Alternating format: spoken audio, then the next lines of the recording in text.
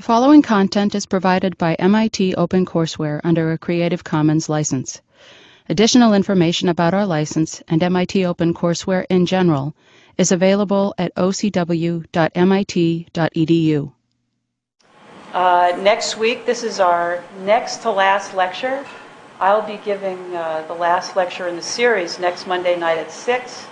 Um, and the title of my talk is uh, To See is the Root of Idea. In fact, uh, the word idea comes from the Greek verb to see. Uh, so I'll be talking both about my own work and reflecting on the series uh, as a whole.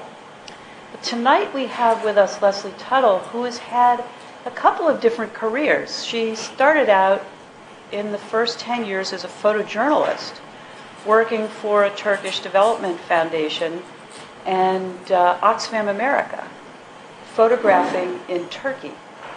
And then she came back to the US, got her MBA, and worked for eight years setting up uh, a nonprofit firm here in um, Cambridge called Consens- the Consensus Building Institute. Mm-hmm. In 2000, she was contacted by one of the children uh, who was living in London uh, in 2000. One of the children that she had photographed in the Turkish one of the Turkish villages in the 1970s because he knew that she had these photographs of his village and there was a photography exhibit being organized in London of the past 50 years of this particular Turkish village. They invited Leslie to contribute photographs to this exhibit, and curious, she decided to go back to the Turkish village and reacquaint herself with the people there. And that started off on a whole other project, which she's going to share with you tonight. Um, the early photographs in the 1970s being in black and white, and the more recent work since 2000 is in color. Welcome, Leslie. Thank you. Well, um, I have talked for about 45 minutes and show you about 100 photographs, sometimes quickly and sometimes pausing to more to say about certain ones. And then I look forward to Professor Rabbat's commentary and I'm um, happy that there are people here not just from this academic world but from other worlds of TV and radio production that might also join in to make the conversation um, lively. So, let me begin. Um, today is May 1st, International Workers' Day. I mention this because I'm thinking about how profound being in a certain place at a certain time can be in terms of experiencing catalytic public events. On this day in 1977, I was in Taksim Square, Istanbul's largest modern square, along with thousands of families, students, and workers who were out there in a holiday mood to celebrate International Workers' Day. It was during a period of political anarchy, so some say it was the CIA, and some say it was the Turkish military who allowed snipers to go to the rooftops of the hotels in Taksim and fire shots down upon the crowd, causing panic and stampede. Although I'd been in protests and riots in the U.S. during the Vietnam era, I'd never feared for my, feared for my life quite as much as I did then and there. 34 people were killed and many were crushed and injured. There are May 1st 9 11s and Hurricane Katrinas in many of our lives when being there at a certain place and then at a specific moment makes, makes for unforgettable and irrevocable drama. However, I'm not here to talk about a single abrupt life changing event. Rather, I'm here to describe significant changes that occurred in over 30, women, uh, 30 years to a group of people that all came from the same place. I will show the place they came from, where they went, and how migration changed them. This is the story about how change of place can cause dramatic shifts in people's lives. It's not news to any of you that urban migration changes how people think and live. As city planners, architects, and 21st century citizens, this phenomena is very apparent. I'm not a sociologist, a visual anthropologist, or a city planner. I'm a photojournalist in the 70s and 80s, I worked for 10 years for not for profits, including Oxfam America, where my job was to show through individual stories in pictures and words how economic and social development might occur, starting from the bottom up. We were very idealistic. There is an ongoing debate in photojournalism or social documentary photography about the role of the photographer, the photographer's ability or even attempt to be objective, and about the vitality or effectiveness of telling stories with an agenda in mind. It interests me to discuss these issues, and I would gladly do so. As I'm not an academic, I have no claim to a significant statistical pool or a generalized theory.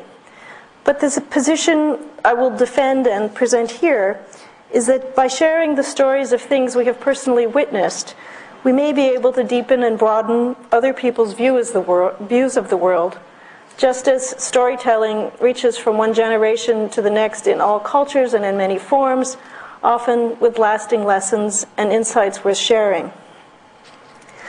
My claim, my story in words and photographs, is about how urban migration made feminists out of very traditional village women. This is something I discovered, and I decided I wanted to show it to others. These stories are also about the, oops, the little, that's, goodbye. Um, these stories are also about how the impact of and outcomes of migration vary for different individuals depending upon who they are and where they went.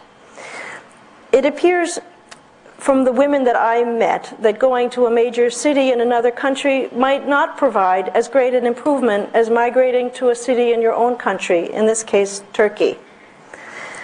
Then there are those who ultimately um, return to the village. The way people recollect the village life is also a part of the story, along with their general reflections about what has been lost and what has been gained by the move to urban areas. Lastly, I will look at the meaning of the, that the village holds for some of these people today. If these stories serve no other purpose than to challenge you to rethink your assumptions, and I'm borrowing this phrase from Martin Krieger, who was here last week, then I think it will be worth the effort. The subtitle, by the way, that I've always wanted to use the story, for these stories is Don't Judge a Woman by Her Headscarf. The people you're about to see were all born in the same village, Topardic, near Sivas in central Turkey. All of the black and white photos are from 1974 to 1978. Everything in colors from 2000 to 2004. I was working in the 1970s as a photojournalist um, for a Turkish development foundation based in Ankara. One of my colleagues, Veys, was from this village in central Anatolia, where he brought me and introduced me to the people and to the place. A key character in this story is Fadime. I met Fadime on my first visit to Topardic in 1975. Fadime and I were both 25 years old, only I was a single American, and she had been married at age 13 and was pregnant with her sixth child. But there she was, harvesting wheat with a scythe in the middle of the field in the midday sun. She dropped everything and made us tea right out there in the middle of the field I looked at her with awe. Uh, she says about herself and some of the women of the, her friends at the time that the work was on the back of the women, that we were like stones. A bond of friendship grew between us, and even though I left the country for more than two decades, she and the other women haunted me. I needed to see what had become of them.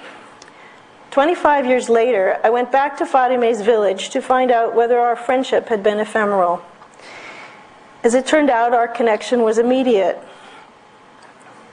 She told me about the major transitions in her life. She had been elected the village leader, the Muhtar.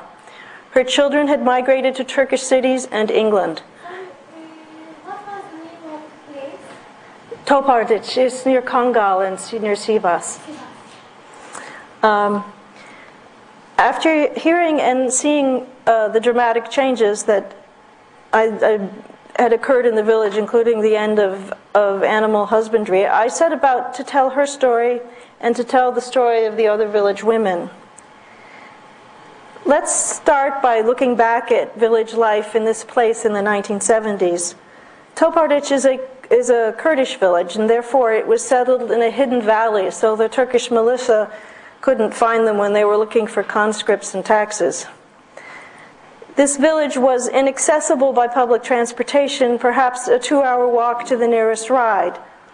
There was no electricity until 1985. There was one central village well. Over a period of 30 years, there was never more than a primary school, mostly attended by boys, and now there's no school at all. The village's subsistence came from animal husbandry, mostly sheep and goats, but with some families having a few cows and chickens. People ate meat perhaps once a meat or when a visitor like myself appeared. They produced cheese and milk and uh, yogurt rather. They grew wheat and barley and did some seasonal tradings with the vendors in town for tea and sugar and kerosene. The winters were long and harsh and isolating. Uh, dried dung was the main source of fuel, and um, during the past 100 years, most of the surrounding trees um, had been cut down. They had once been available for building home construction, and posts such as these with the um, interesting post and beam, possibly a design comes from uh, Iran. You might, uh, architects might tell me more about that. But the houses consisted of a kitchen storage room such as this, and an indoor stable. And then there'd be a living room with the divan around the edge. The divana, I believe, is a, a Persian word used in Turkish for that structure along the outer wall that's used for both um, sitting and sleeping. The population of the nearest um, town was Sunni Turk, who prohibited the Kurdish children from coming to their schools and also just shunned them in general. This prejudice was doubled because these Kurds were Alevi, and a sect that, although Muslim, were to the Sunnis as within Protestantism the Unitarians are to the Baptists. So um, the migration out of the village to Turkish and European cities began in the 70s and accelerated in the 80s. By 1990, all of the able bodied men and families had left the village and animal husbandry had ceased. The weaving of rugs and the Alevi ceremonial practices also came to an end. Only the elderly and a few isolated families stayed in the village year round. Most people maintained their ties by returning for summer visits. I'd add an aside that when I showed this picture in the village in the year 2000, everyone who looked at it said, they're all dead.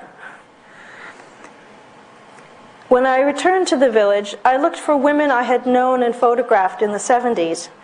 I interviewed them to find out what, they, uh, what had happened in their lives. Kiraz, here in the center, was one of those who bounced back and forth between the city and village over the years. Here's a bit of her history and her own words. We worked as agricultural workers when we were young girls. We used to go from the village to Sivas to work in the fields. We were very poor. We used to go, work, and bring back some food. They would give us bread and sugar. We made our living on these things.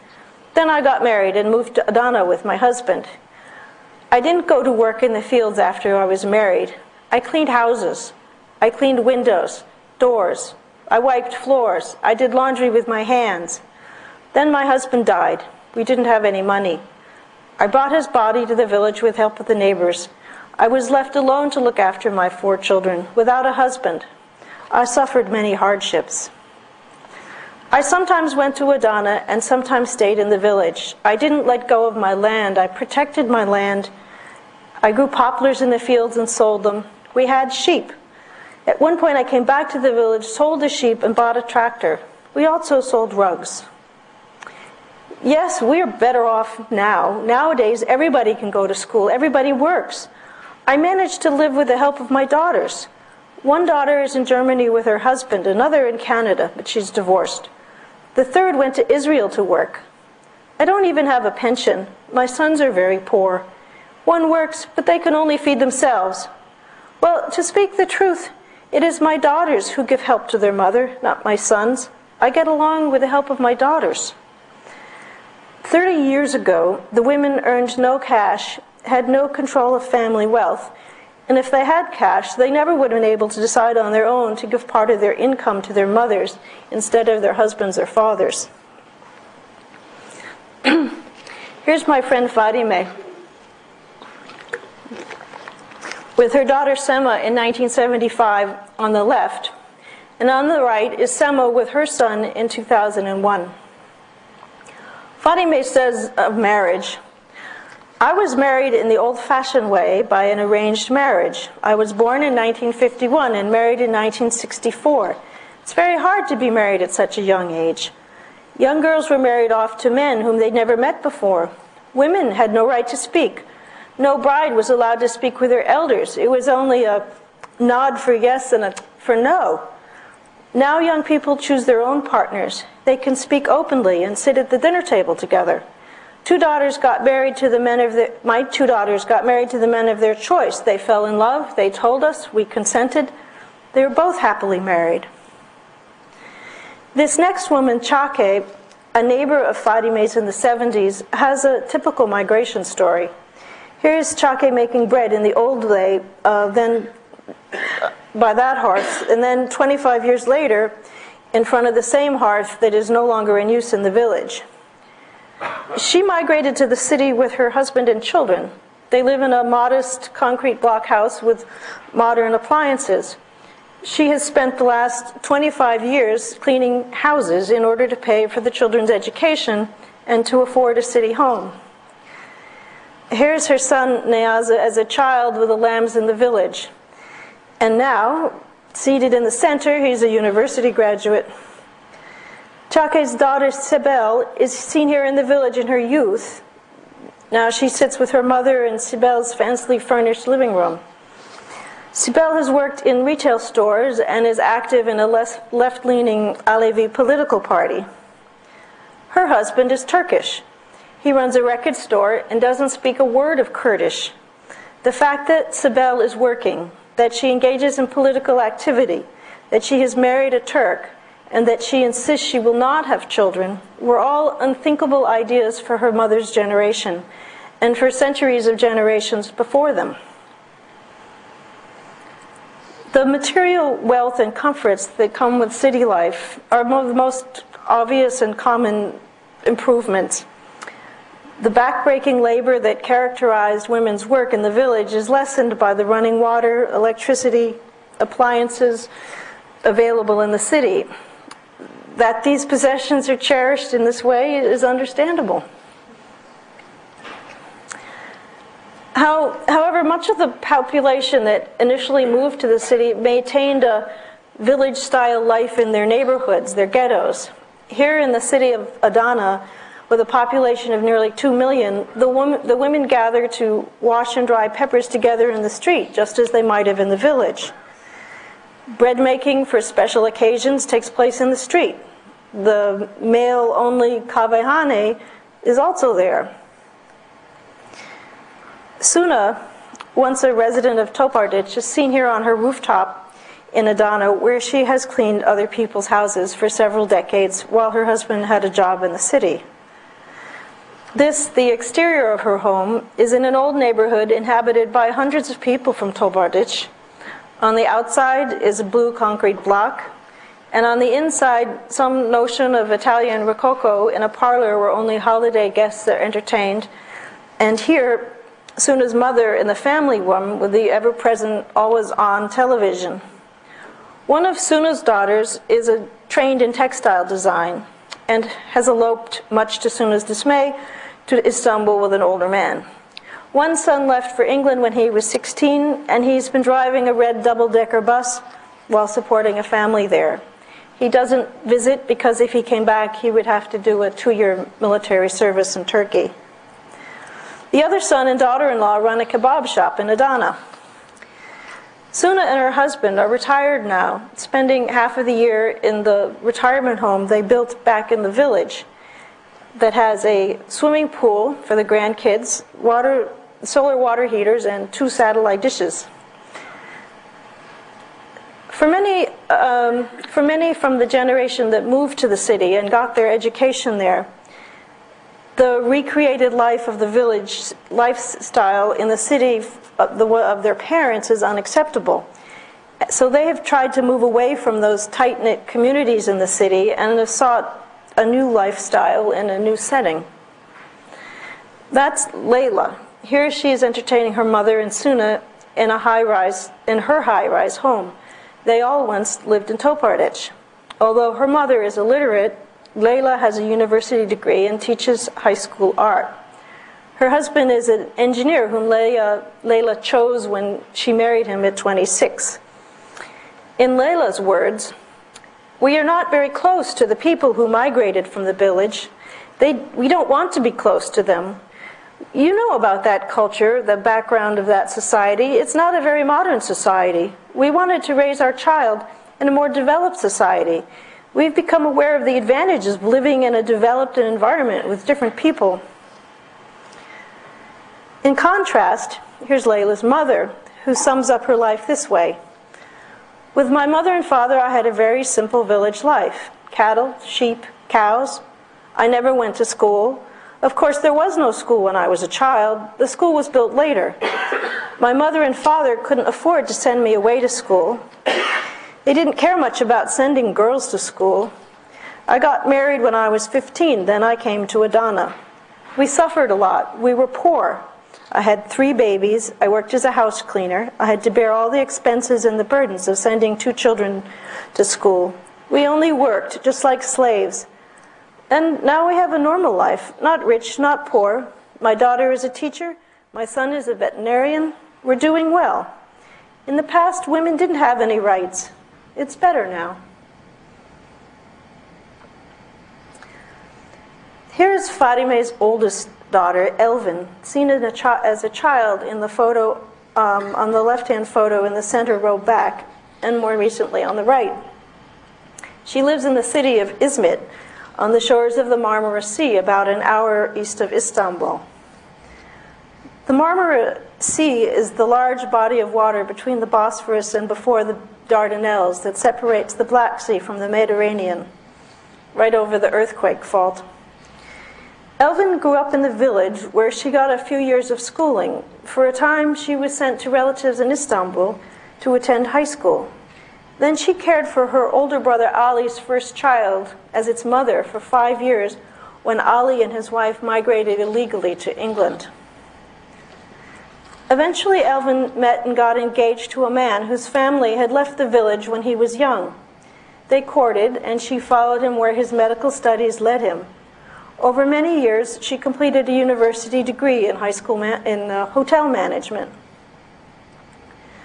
Here are some of her thoughts about the change between the generations. Our generation is the bridge between these two generations. I would tell, if I were to tell my child this whole process in the future, he would not understand it. The generation prior to ours thought that having children was for making them work and to take care of their parents in their old age. Parents wanted their children to become their guarantees for their future support. Raising kids was anal- analogous to raising workers. After our generation, this mentality was not the same because people understood the importance of education. Regarding decisions from every aspect, my father used to make a decision and my mother used to obey it. At that time, many girls were sent outside the village so they could continue their education. When my father went outside the village, had different friends, saw different lifestyles, he understood what peop- that when people studied more, they would become more powerful. All this influenced his changing. My father made the decision I would go to Istanbul and attend secondary school. Frankly speaking, my mother wasn't consulted at all. In my married life, we have a democracy from every aspect. If we have to make a final decision about something, we absolutely talk. Our marriage is a dialogue, it's essential. We can even talk about a very trivial detail. If I have to persuade him to do something for sure, I will do so, and vice versa. Elvin lives in the high rise complex, but she chooses to go to the green grocer down the road instead of the nearby supermarket. Now let's go from Elvin's Market in Izmit to a market in London. In the back, the Cafe Millennium is Elvin's older brother Ali's Cafe.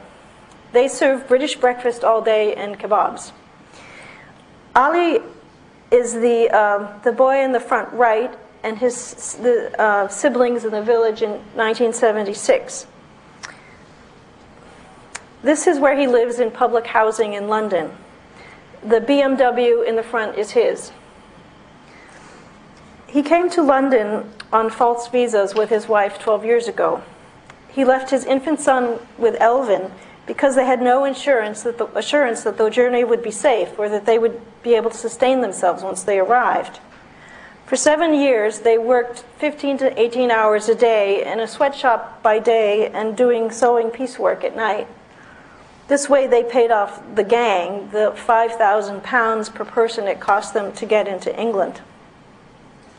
In addition, Ali and his wife worked to pay for his two brothers and youngest sister, Bergzar, to come in on false visas.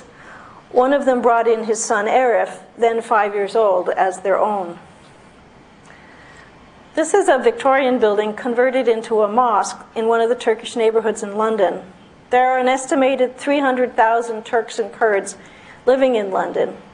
Most of the first generation, like Ali, stay in their neighborhood, speak hardly any English, and survive on employment generated within the community. The British policy is that if you declare yourself a political refugee and do not leave England, uh, Tur- yeah, do not leave England for Turkey for 10 years, you are granted British citizenship. Ali lived in England for 10 years without returning to Turkey. What does this policy mean for Fadime, their mother? It means that of her six children, she has not seen four of them for 10 years. The British would not grant her an official visa, visit, uh, visa to visit them. Ali reflects about the impact of immigration on himself, his siblings, um, and his family. And these reflections, I think, provide some insight on how others in his situation might feel. Surely he doesn't speak for everyone, but the concerns he expresses provide a succinct summary of the costs and trade offs many immigrants knowingly or unknowingly encounter. Uh, for this reason, and because of the clear way he articulates the issue, I will share with you a lengthy portion of a 2004 interview I had with him. this is Ali. Why was our desire to go abroad so great? Well, we got hoodwinked. Our friends dazzled us, not telling us the whole truth about their lives there, what conditions they had suffered. They implied with their behavior and dress that the life, what the lifestyle was there was, wasn't really. The people who first experienced difficulties abroad didn't tell about these things to other people. On the contrary, they exhibit only the good side nice clothes, food, jewelry, things they hadn't seen before, which were very attractive to the people. This arises from our ignorance and unconsciousness. In our society, keeping up with the Joneses still persists, as was the case with people going to Istanbul from the villages. This time, the same thing happened with the people going abroad, giving false images about life there. These people caused the creation of a false image, like money was collected either from the trees or off the street so easy. We went to the big city for all the same reason. Turkey's resources are insufficient. People started this adventure with the hopes of attaining better possibilities and living conditions in other countries and other lands. Maybe some of us did get better conditions economically. We did get some material benefits. This, we all, starting with me, have to think about. Maybe some of us earned money, but was this the sole aim of our coming here? The important part is what we lost morally in our values. We were introduced to money here. There were times when I said, I wish I had money, but now I criticize myself and I hate money. All right, one has to have enough money to live on, but if it only is a means. Now I'm asking first to myself and then to all the community did money make you happy? Instead, we lost our values, customs, and traditions, dances, music, our respect, our love. What money can bring these back to us? There used to be respect for the elderly. There were good human relations. There was no money, but there were moral values. I lived these things myself in Turkey. I didn't watch these things in movies or read them in books. I know this from my own experience. I'm not objecting to the way other societies live. A British child acts according to how he's brought up. That's only normal. But why should I try to imitate their lives? Why should we immediately want to assimilate into British culture? None of us adults can even speak English. We have lost control of the children. They are the ones speaking English. We need them to interpret for us at the schools, and they can easily fool us. Who is guilty if you don't teach your culture to your children? In the end, life isn't about earning money, wearing nice clothes, and riding in nice cars. Many here enjoy their residence permit, but they don't, don't they feel insulted when they are treated as second class citizens in the airports at customs? People with British passports just pass by while the others wait in queues. Isn't this a double standard? Look at the lives of my parents, Jafar and Fadime. No washing machine, no dishwasher, no car. Their children have all of these. They have everything appliances, instruments, vehicles. But here, if we go back to the same point, what is important here? Whose moral values were more precious? Who is more worthy as a human being? Who is more admired, more trustworthy, more dependable as a friend who keeps his promises or how he hosts a guest in his house? We can conclude that money is not everything. A human being is a human being no matter if he has money or not. In some ways, Fadime in the village has lived a better life. Here is Fadime's youngest daughter, Berguzar, in a London cafe. The school in the village had closed by the time she was old enough to go. This was in part due to the fact that most of the families had migrated out of the village and only returned in the summer. So she was sent to be living with relatives in Adana to attend school. However, at age 16, before she finished high school, Ali sent for her to come to England. She's 24 now, eight years into the 10 before she can return to Turkey and see her mother again. She is supported by her brother, working sometimes in the cafe. Her main passion is Kurdish and Turkish folk music, which she learned first from her father, who you see now with his saz back in the 70s. She continues to practice and to sing with her brothers in London. Her dream is to make a cassette, but she is dissatisfied about trying to make their music in a foreign country. She says, I want to be involved in music to communicate with other people via music.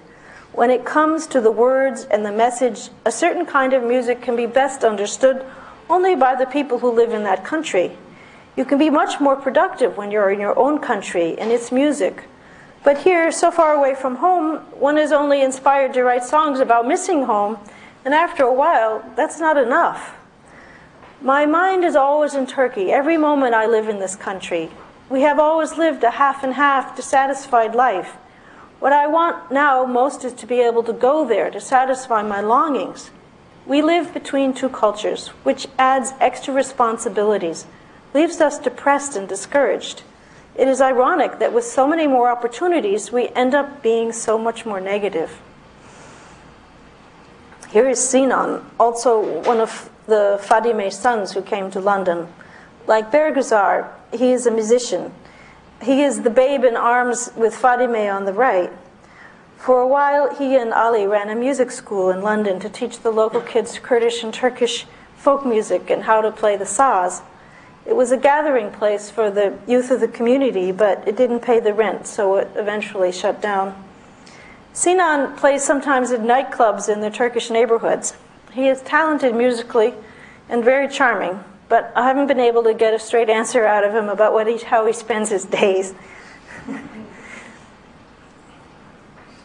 now I want to return with you to Topardic to see after 30 years of migration, who remains there and what their views are. Here's Fadime's father in law, Hassan Baba. One of the reasons Fadime stays in the village is to take care of him. He refuses to live in the city. In an interview, he said to me, I don't like cities. The village life is good enough for me. Dry bread, cold water, that's good enough. The mountain bird doesn't fit in a vineyard, and a vineyard bird doesn't belong in the mountain. This is Hassan Baba in 1976 with his late wife. When I asked him about the changes he'd seen in his lifetime, he commented In the past, the women wouldn't go about with their heads uncovered. A bride wouldn't go out for a month. Now it is all free. There is a civilized understanding. old heads become new heads. But the old days were heaven compared to today. There was goodness and blessing, there was humanity. The elders and the young people were aware of the difference and the distance between them and respected each other. I am much older than you, but whoever you are, what it all comes down to is good manners, honor, kindness, and mercy. Hanum Şimşek, Fadime's next door neighbor, recently became a widow. She refuses to move to the city um, on her son's invite uh, as long as she can take care of herself in the village. A few years ago, her eldest daughter was politically, who was politically active, got involved in terrorist activities and was shot dead. She reflects on the old times. Before there was great poverty, even though we suffered a lot, we still long for those days. We were better. We were happier then. We were all together then with our children. Now conditions may be much better, but there is no family, just loneliness. There are also younger people and families who return to the village for months at a time. This young woman is Chidem. She spent her part of her youth in the village and then got a few years' education while living in Adana. Her parents took them with her to Israel when she was 15. She worked there as a babysitter and a house cleaner until the age of 22. She was impressed with the orderliness and the lifestyle in Israel and would like to return there. However, now she's engaged and waiting out her time before the wedding with the, in the village with her grandmother. She and her mother are still recovering from a traumatic experience um, due to the earthquake that came li- claimed the lives of 30,000 in 1999. Jidam and her mother were in the same apartment in Yalova with Jidam's brother and uncle when the earthquake occurred. The men were crushed to death when the building collapsed. Jidam and her mother were saved. Jidam will move to Istanbul, where her fiance works after the wedding. But for now, she is happy with the village life, socializing with all the younger people that come as vacationers during the summer months. Fadime, however, still lives in Topardic year round with a few dozen households, mostly elderly, who stay through the winter. After her husband died, she stepped forward and got herself elected to become the first female village head, the Muhtar. To have a female Muhtar brought, broke with centuries of tradition. This is her living room from which she conducts village business. As a Muhtar, she has made major improvements, including road construction, a new central well and water system, and the construction of a village house. Her, does, her husband died tragically 10 years ago, so Fadime wears mostly the traditional black of widows, but has introduced a few muted colors and pants into her wardrobe. Fadime talks to her children in England by the phone and watches the, uh, the videotapes that they send. The wonder of this woman is that she has made these dramatic changes without migrating herself. This is how she expresses herself about migrating to do work in the city. The changes started about 30 years ago when people, including my husband, went to work in the city. He did not want his children to stay in the village and just be farmers or shepherds like himself. We moved to the city, but we couldn't manage. I can do any kind of hard village work, but the city work, forgive me, cleaning toilets and washing other people's underwear, I couldn't go along with that. That kind of work affects a person's pride. So we moved back to the village. In the summer, the village fills up with families from the cities who rebuild old houses, adding appliances and satellite dishes. They hold celebrations for weddings and circumcisions and the anniversary of their dead with the ceremonies and village wide banquets. Many people who have died in the cities are brought back to the village to be buried. The old traditional gravestones are being replaced with elaborate marble ones, similar to those in the, seen in the modern cities. Here is Jafar's tombstone, paid for by Fadime's children living abroad, who could not return to Turkey to attend the funeral. This procession walks to the graveyard to sacrifice a lamb that will contribute to the meal that the family of the remembered dead pre- prepares for the hundreds of people who come to the memorial. The dead man was a young political activist who was shot a year ago. His memory is honored, prayers are said, dirges are sung, and the community comforts all of those who have loved ones who were buried there. At first glance, the words most of us that would use to describe this place, this village, Topardich, are in the middle of nowhere or God forsaken. It takes 16 hours and three different buses to get from Topardich from Istanbul. Why do people come back? What is special about this place? What meaning does it have to them that they cannot find in Istanbul or Adana or London? No one is returning to tend sheep. The rugs that were made here once will never be woven again. Eventually, none of the elderly will remain for the winter. But I imagine that Ali and Berguzar will try to describe the spirit of Topardich in the songs that they will write. I began by saying that I would show you how urban migration made feminists out of traditional village women. This was the discovery I made and the finding that encouraged me to tell their stories. I purposely use the term feminist to provoke discussion about what these women have achieved. No one has ever used the word feminist in their conversations with me. They have never been, no one in these pictures, they have never been a part of any organized feminist organization. Yet, in my view, they are feminist by their actions and by their accomplishments in the light of the centuries of tradition they've had to overcome.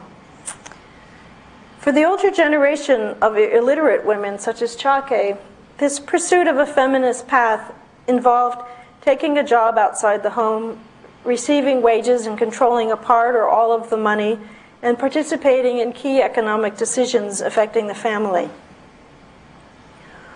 For their daughter's generation, feminist action involved insisting on an education, choosing their own husbands, and marrying later in life so that they could finish their education.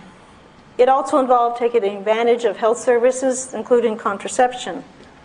Both in the village and in the city, women for the first time joined political organizations and took or took political office.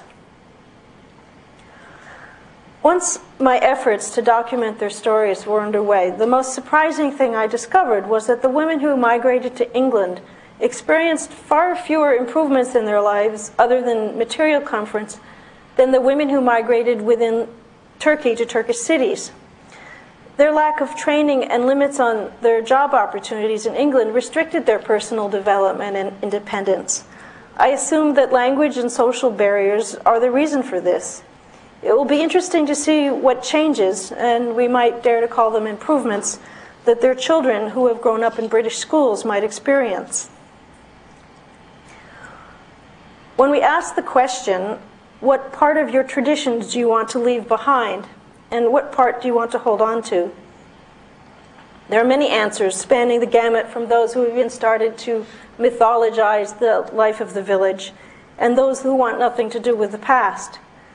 It will be intriguing to see which qualities of visual, visual, sorry, visual life are retained and transformed in the context of modern urban settings. I hope you've enjoyed meeting my friends.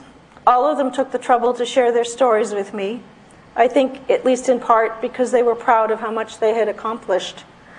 I consider it my, my honor to um, share their accomplishments and tell their stories to the broadest possible audience.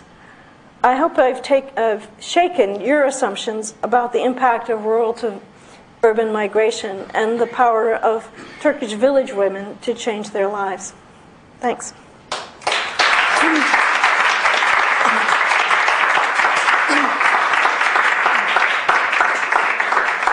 This lecture is co-sponsored uh, by the City Design and Development Program and by the Town Program for Architecture at MIT.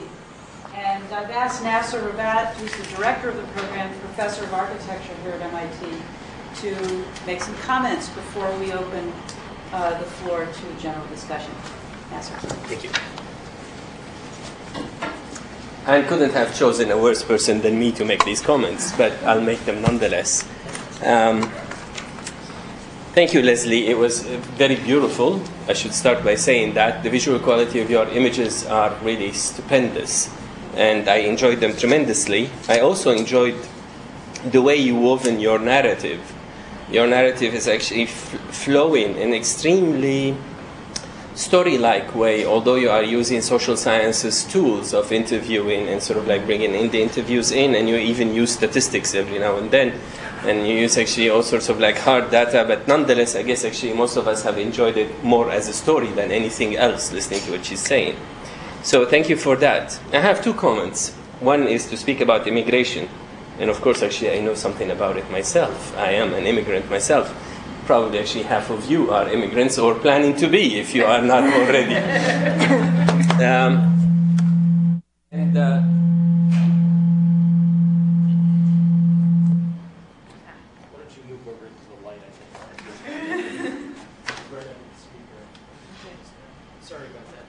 I'm going to make a few comments on immigration. Some of them are scholarly and, and based basically on my profession as a historian and uh, some of them are personal and perhaps actually a little bit even um, um, existential. Um, the historical one, I kept on thinking while I was listening that we are now constantly being barraged with the notion of immigrants around the world. 150 million dollar, um, million dollars, 150 million individuals are at this point in time supposedly immigrants in different places in the um, first world, coming from the third world a humongous number. We are supposed to constantly think of it as a problem. Of course, all of you are aware of the fact that today is not just the 1st of May and the International uh, Labor Day, but also it's the day of protest about the new immigration laws. Um, all of us have witnessed since 9 11 the changes, the tightening of immigration laws in the West. And as a matter of fact, actually, even the, the mere temerity and, and, and, in a sense, actually, even the mere uh, hypocrisy of the policymakers in the first world about who they are going to let in and who they are not going to let in, and sort of like somehow categorizing people in different ways. People with high degrees in sciences and engineering and computer sciences are welcome in, in many places. As a matter of fact, the US is copying the German immigration law. Many of you probably know that in the way we are moving now. But all of that is just bringing to my mind something else. It's funny how short our collective memories are. Europe is actually the place that have produced the most number of immigrants in history. Europe is the one that actually, for four centuries, solved all of its problems by sending people out and, in a sense, actually colonizing the rest of the uh, discovered world or the world that is being discovered, and some of the world that was already discovered and sort of like Europeans or people of European origins claiming that uh, the people living in it were not worth it or didn't deserve it or whatever it is, so we'll remove them and take their place. So immigration is really not a new, history, new story in the world. It's a very, very old story in the world. And the immigration story that we were looking at here today is part of this sort of like continuous movement of humanity over all of its time. I mean, from the beginning on. But I was struck by your comparison between people moving to the cities in Turkey and, of course, people moving to London. Most of the examples that we've looked at are in London. And that led me to reflect upon my own case. And uh, I was wondering, I mean, I, for example, and I'll, I'll, this is sort of like a bit of personal history, I stayed in this country after I finished my education not because of the economic benefits of being in this country, but because of what is probably going to be uh, uh, to turn out to be an extremely false belief that this country provides me with the freedom that I was lacking in the country that I'm coming from. Because, as you all know, actually, at this point in time, someone like me cannot really express himself freely in this country. As a matter of fact, I can't tell you my real opinion now, here, uh, despite the fact that we believe that we are living in a free environment. Um, so, having said that, uh, of course, there we have an extremely classical story of immigration, of uh, people who are going to improve their lot in life, and of course, actually paying the heavy price. The uh, um, the falafel uh, seller in uh, Central Square. Some years ago, my wife and I stopped there, and we, somebody told us that in Central Square there's this like fabulous place that uh, prepares falafel just like home. Home for me is Syria, for my wife it's Egypt. So we actually have different opinions about what falafel is. The Egyptians call it tamia, it's made differently, and so on and so forth. So we wanted to compare. We landed there. It was a shop owned by a Syrian, still is, as a matter of fact, it's in Central Square. And the person that was preparing the falafel was Egyptian. So it was, it was exactly what we were looking for. The guy said he was working 15 hours a day, exactly the same as the kids of Fadime. He was making $70 or so, and his expenses were $75 a day, so he was actually borrowing from the owner of the business. And he had been here for two years, and he hadn't saved a single penny, of course. He was indebted to the owner of the business. He was working way above his capacity, and I said, Well, what are you doing? Where you came from? He said, I came from Alexandria and I owned a shoe shop there. And I'm like, What brought you here? It's the same question. I mean, here we have examples in Turkey of people who went to Turkish cities and made it and somehow improved their lives there, and people who went looking for ways to improve in their lives elsewhere, in, in, in the West in this case, who did not improve their lives. As a matter of fact, actually, they sacrificed their lives. These are people who have lived in England for 10 years without the ability of, being, of, of going back home, totally deprived economically, totally deprived socially, feeling alienated. Uh, Ali's testimony is, is harrowing. And, uh, and, and what's, what's the ultimate aim? So I don't know. I mean, perhaps actually your message shouldn't be don't misjudge women, but your message should be going to uh, immigrant communities or communities that are planning to send immigrants and tell them, watch out before you send out your, uh, your immigrants. Perhaps that's not the best solution. The last point that I want to make, and this is actually a direct comment on something that you said.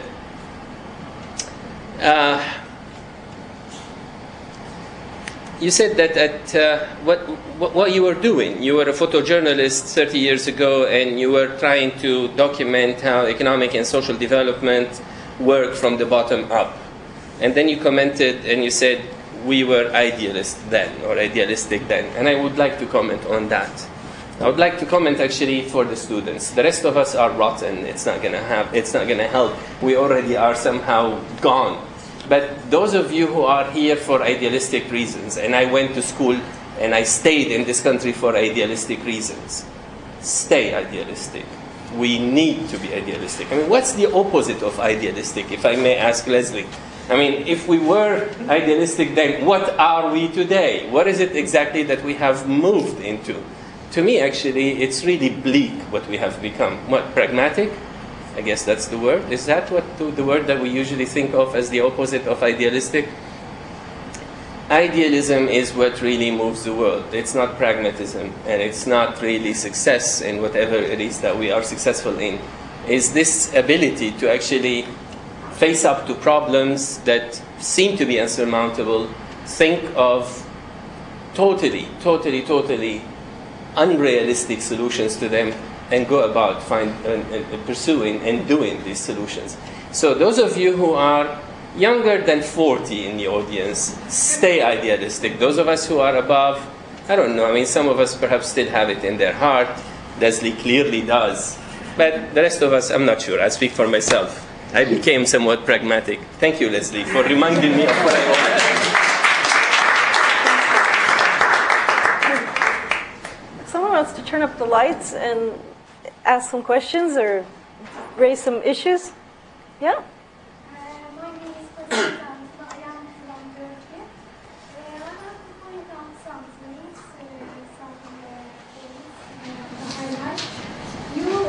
Do you want to stand up and speak loudly? you explained the story of one one family to us. And uh, in this story, I think uh, they live in a very small uh, village. It should be less than 2,000 because I am a planner. I visited most of the part of the Turkey. I haven't seen this part, uh, this part of the Turkey yet. And uh, you point out a lot of problems, and very sensitive problems, women issues, immigration, and migration, and feminism, and Kurdish problem and Turkish problem, and also Alevi, Alevi problem. And these are very sensitive issues. And uh, from one family perspective, uh, I think uh, it is not, uh, how can I say, it is not correct to make generalization about these sensitive issues. You cannot do that with this information, and uh, and also you are not using any social um, scientific method. With from one family perspective, you cannot make generalization. I think uh, at the end of uh, your uh, presentation, it is not clear to me still what is your conclusion about image issue. Well, you brought up a lot of things, and maybe I can briefly respond on a few points. Um, I think I started by saying I am not a social scientist. I'm telling stories from one place. Um, as I said to Professor Rabbat, I'm not interested in influencing uh, urban policy or, you know, I, this, my goal is actually directed to a very different audience than, than you.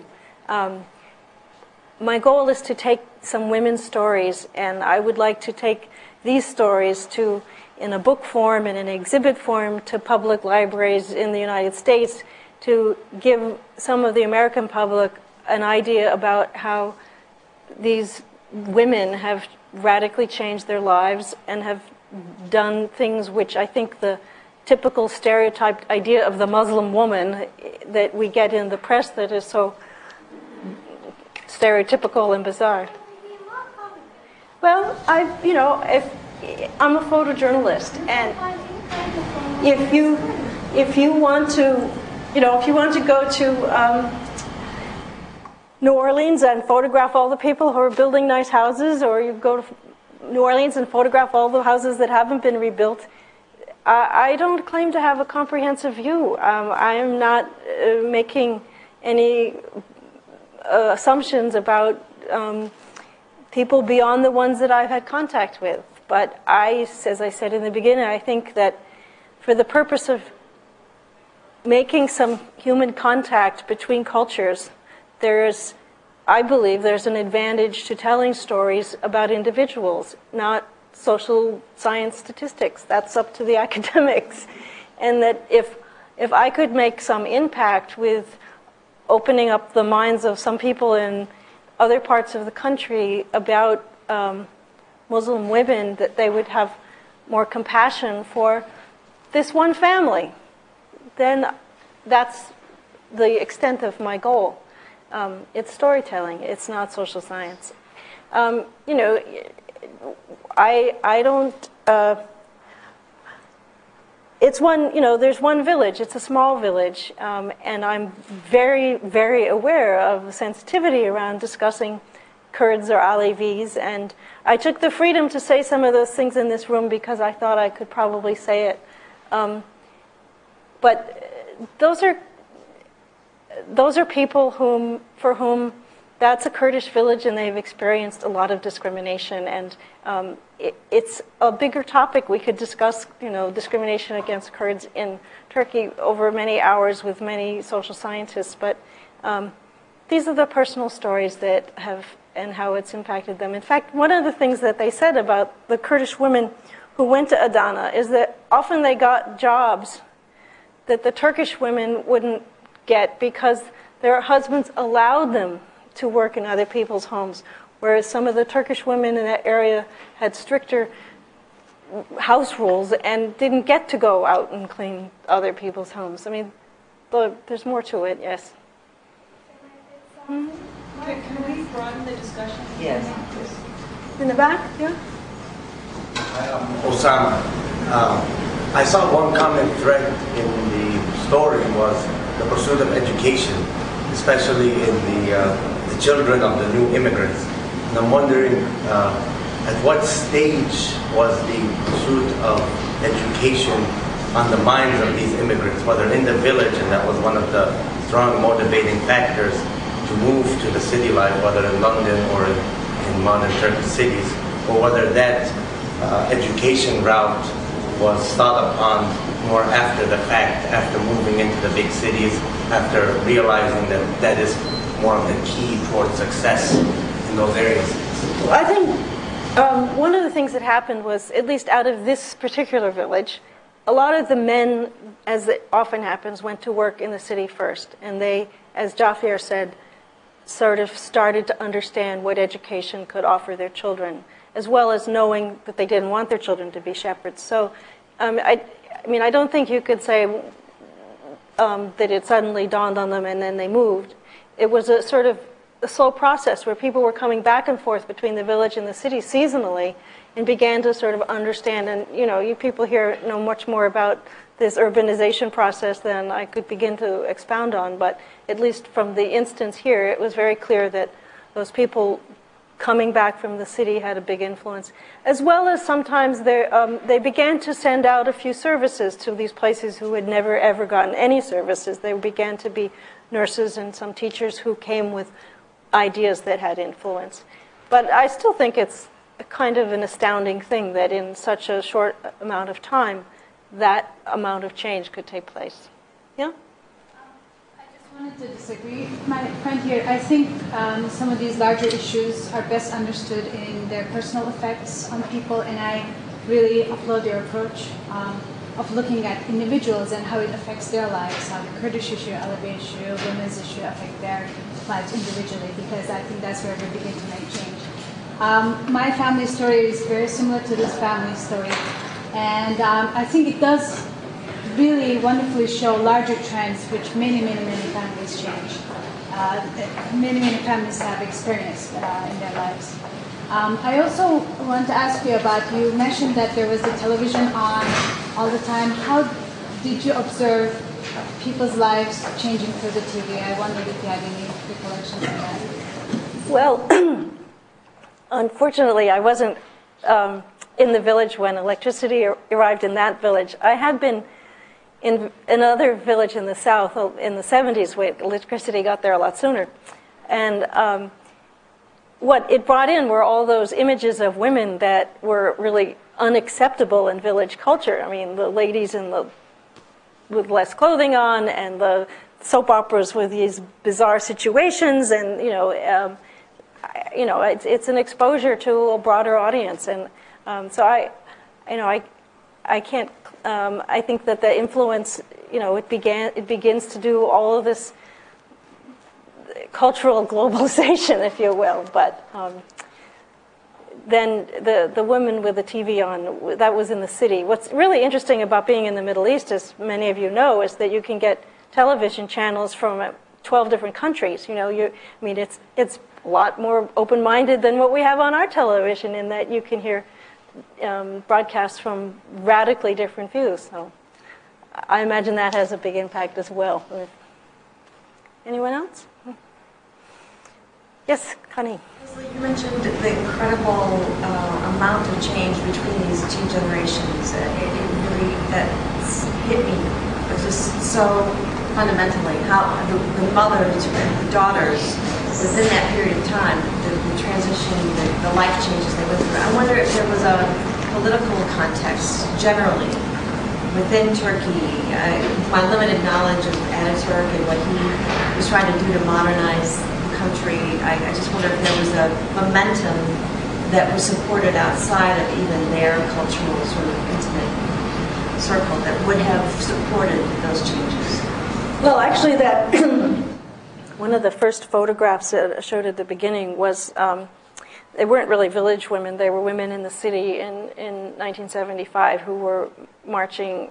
It, it wasn't May Day, it was International Women's Day. Um, so, you know, there, I, I, would hate to try to capsulize um, several decades of Turkish social and political history, especially, um, but um, there were there were certainly movements within the cities. Uh, there are certainly academic feminists in Istanbul who, um, you know, you would be very comfortable with 30 years ago discussing your ideas with, and the extent to which those ideas reach out to a village that is 600 miles away and inaccessible. Is, it, it seems to me that the the transitions that have happened sort of globally in terms of of uh, change are a function of this interaction between the village and the city. And um, you can find in Turkey, you know, in the in the 70s there was there was tremendous political anarchy and upheaval, and then there were coups, and you know the the the political history um, is a part of it, but you know, I'd be, I, I couldn't begin to tell you what were the specific catalysts that you know lead from one thing to another. And, yes. My name is Colin Clark. I was a Peace Corps volunteer in Turkey in the 1960s, a teacher um, in southeastern Turkey in the Kurdish area. And just, I mean, this question of what was going on politically or what, what the Turkish government was perhaps uh, doing, there were, um, there were women teachers sent out all over Turkey. I mean, I was, I happen to be an American, but there were Turkish women teachers sent out into very small rural areas, not necessarily to villages, but small towns where they had middle schools, and where probably 20 years earlier it would have been just totally unheard of.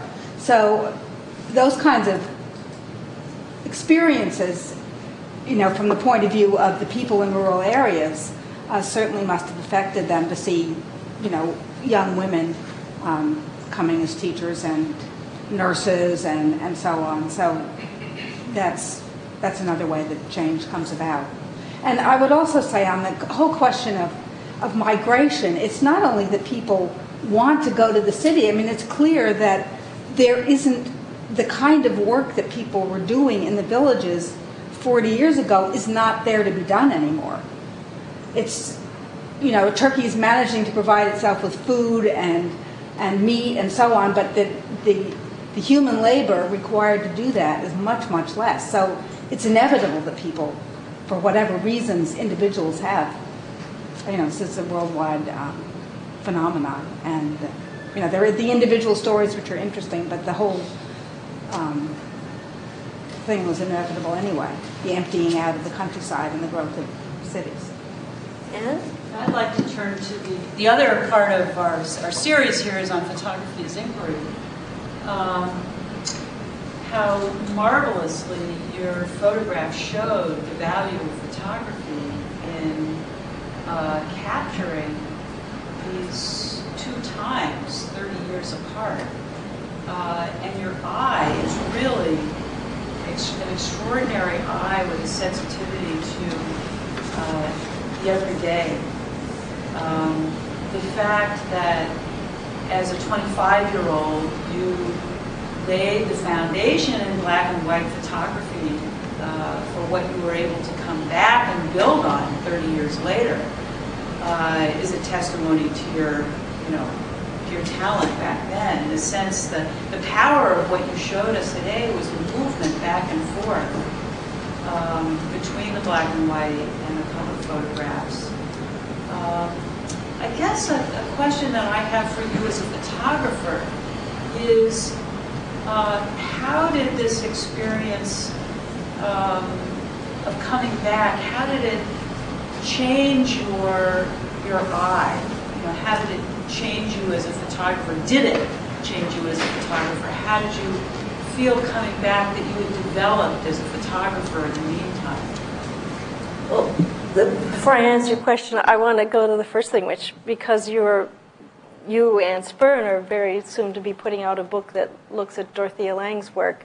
I have to give all the credit to my 1970 photographs to the fact that Dorothea Lange was the person I considered the one I wanted to become. You know that, that I I imitated her. I tried to be like her, um, and it was um, in terms of how did the photography change. Um,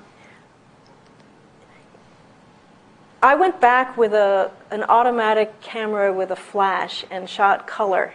And um, I think I've come to feel that that isn't my preferred way of shooting, but that I had to do that then. I, I, I felt I needed to get the information. I needed to use a flash to get inside. I needed, and um, I, it's a quandary to me now because I do have this. Um, there are certain aspects of the black and white photography which are still very strong to me. And, and I'm kind of curious about what it would be like to now go back and do some black and white photography with the um, quality of light. But for the purpose of, of this, um, the garishness of the color is a part of the message. You know, the, that, I mean, it truly does carry some of the, the um, information That um, so uh, it's it set me up to be. I think I'll have to be more experimental in the future about which which way I go and how I use it. But I'm certainly far more aware now of the impact of those bright lit colors. yes. Just a small comment. Uh, Turkish women teachers role uh, acting as role models goes all the way back to the 30s, uh, alphabet uh, revolution. No, I'm aware of that the, there were sort of village school teachers that got sent out. I had a friend who's grew up in all of those little village schools because his, his father was one of those teachers in the. My mother was admired by all the women in the little town. Yeah. She was a teacher. Well, I think one of the things that people also don't realize about Turkey is that, you know, in 1975, things like there were more, larger percentage of women doctors and lawyers in Turkey than there were in the United States. I mean, that there are different aspects to which, you know, maybe starting with Ataturk, the society started to change, didn't take exactly the same routes that, uh, you know, we in the West think are the ones that you ought to take. There were innovations then. But still. The Kurds maintain a separate identity, and I wonder, especially now with northern Iraq and the possibility of a Kurdish state, did you sense some antagonism uh, toward the Turks, toward the Kurds, because of this uh, separate identity? Well, when I visit in Turkey, I'm visiting with friends, so we can talk openly. And as you can tell, some of my best friends are Kurdish, so um, their experiences are often different from people who from farther west in Turkey who have not lived in the east or been in the east, and um, it's a it's such a sensitive subject. I don't even discuss Kurds with some of my Turkish friends because um, their experiences are so different and their education is so different, and it's uh, I think just as say racism is a really hard topic to discuss in in our country, you know, the Kurdish issue is equally explosive, and it all depends upon whose living you, room are you in and what their family experiences were. I mean, the there are also, um, you know, certain things people won't talk about with me because I'm a foreigner and because people's political histories, um, they don't want to be known. So um, it's, it's very complicated and it's very hard, but there's certainly a lot of, you know, it's going to be a long time before all those things are easily spoken about among different people. Marsha? I just want to thank you for seeing these photographs in this way um, for, and the stories. For, because I think in the storytelling and in the personal aspect of photojournalism, it gives an emotional impact of what these changes mean to a person, to a family, in a way that you can't necessarily get in just straight dry scholarship. Because it allows you to sort of feel and project into their lives and imagine what those changes viscerally mean. So I think I think it's especially for a non-scholar like myself, very valuable to prompt questions about what does immigration mean and, and the sadness that you can't go back, you can't go home again, and what do you do about those losses? I mean, how how will her children maintain their cultural identity as they have their children? Parana? I have two questions, um, very different. The first one is the Turkish state, at least publicly, is secular. Mm-hmm. And I'm wondering what the impact of that secularism is on women's emancipation in Turkey. And the second question, is different, but what is the effect of this emancipation on men? And how, how have men changed and how, how do you see women being different as, say, mothers? Because that has a lot to do with how patriarchal society is also. Well, I don't think I'm necessarily qualified to comment on all of that. That's a pretty big questions. I think what is what it what separates Turkey from some or distinguishes Turkey, I would say, from some of the other Middle Eastern countries, as you have pointed out, is that this secularism was established in 1923 when the republic was established, and that you know it radically altered the course of history there. And some of the edicts that were put forward in the 20s and 30s, you know, that women shouldn't wear veils and people had the vote. I mean, it didn't happen overnight, even though that was in the law. I mean, there's much of the change has taken place, has moved along slowly or in bodily. But the fact that you start with a foundation of, you know, voting rights and legal rights is just a huge. I mean, that's what you have to, turn back to when you're trying to make these changes. Um, I mean, I I, I, I couldn't. Um, I think it would be foolish of me to, to make some sort of gross generalizations about the men as well. I mean, I, um, I mean, I, I'd be happy to, to talk about it with you, but it's um, it's a huge topic. and how has Turkey changed in the last 75 years for men and women? Um, no. Instances from your stories, I, I don't expect. Well, I mean, the wonderful thing is that you you. Um, you see with the, the women pushing either very subtly or more openly for their, their rights, their economic freedoms and so forth. You know, yes, in 30 years, what's, you know, the men gets pushed along as well. And um, in some families that causes great friction. In some families, it just, everyone benefits. So um, it depends a lot on class, about what your you know, where your education level is. You know, there, there's so many variables.